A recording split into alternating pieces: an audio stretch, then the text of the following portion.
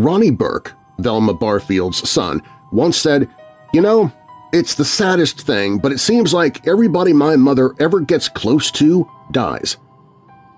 How could the good Lord let something like this happen to a loyal Christian and church lady such as Velma Barfield?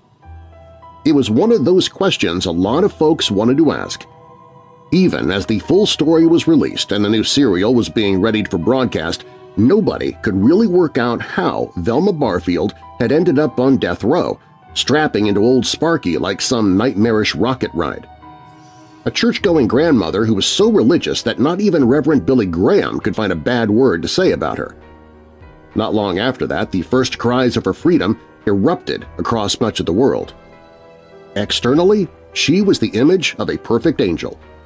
But maybe that is how she killed six people and got away with it.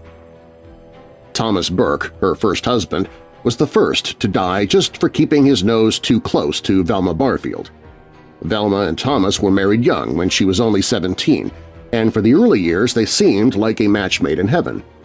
The two had married out of desperation and because Velma was so anxious to leave home. Her father, who outwardly seemed nothing but adoring and good, would come creeping into her room at night. Velma married Thomas only to have an escape route from her ordeal, and then it was okay for a bit. They bore two children and then grew apart when Velma had a hysterectomy and became addicted to prescription pain pills. After some time, Thomas took to the bottle, and the two started fighting. Following an altercation, Velma bolted with the kids and left Burke alone in the house. Then, while she was gone one day, a fire broke out and burned Burke alive before sunrise. Her kids were heartbroken, and from all appearances, so was Velma. The tragic suicide of an English professor provided Velma with a template to fix things, and her life followed a pattern of calamity after disaster. Although she lost her husband, Velma moved on and eventually found love again. But as far as everyone around her could tell, bad luck always seemed to come looking for her. Barfield, the widower of another Pennsylvanian who had two children by his late spouse, would also die in an unexplained way. As the couple bickered about Morrison's prescription abuse and the word divorce was floated, Jennings suddenly fell ill, dying of a disease that led to a fatal heart attack less than a year after they wed. Her parents were next. A brief relationship with another boyfriend ended in flames as well, his body being found after the house Velma was living in suddenly caught fire and burned to the ground not long afterward. Velma Barfield then moved back in with her parents. However, just hours later, both of them were dead. First, her father got lung cancer, the only death she might not have been responsible for, and then a few weeks later, her mother fell ill. It was a strange coincidence. A few years and one husband later, Velma buried her mother, who had been vomiting and complaining of a burning sensation inside. Oh, it was too good to be true, but no one would put two and two together for another couple of decades. When Velma Barfield's mom died, the bodies just piled up. For a time, she got a job working for Montgomery and Dolly Edwards as a cleaner before both of them were hospitalized sick within one year. Next, she landed a job with Record Lee, and only months later, her husband, John Henry, developed the same mysterious malady. To her family, she remained simply an extraordinarily unfortunate woman, they believed her new boyfriend, Stuart Taylor, would prove an anchor for this turbulent period. Even he, though, would not come out the other side of Velma intact.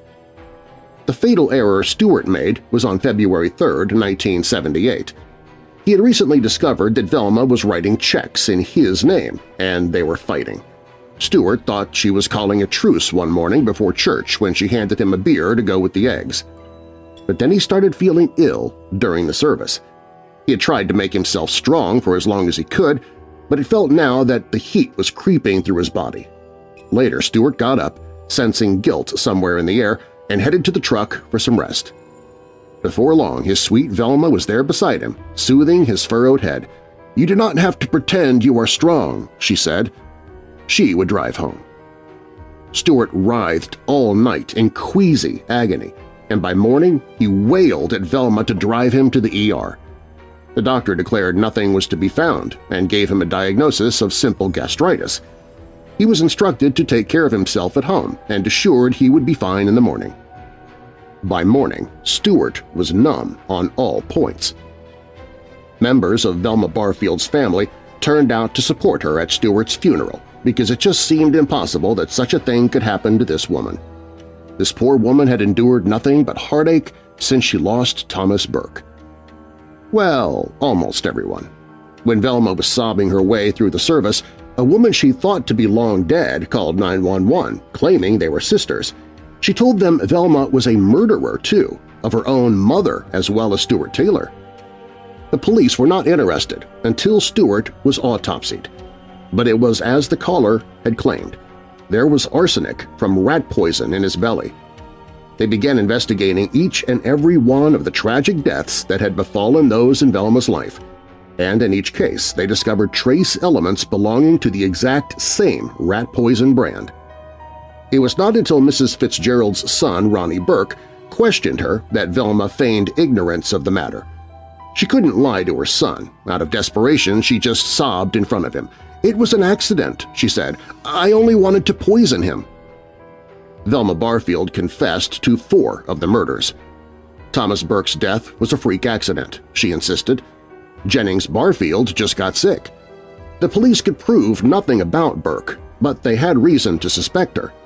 She was for sure lying about Jennings, too, as he had also died from rat poisoning like the others.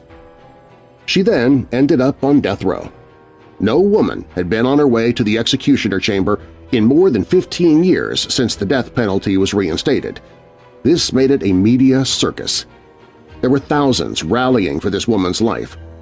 By this time, her psychiatrist was trying to convince the judge that she had multiple personality disorder, claiming Velma would never have killed these people, and Velma herself, ironically, considering how we first met her, attempted to appear as a Reformed Christian.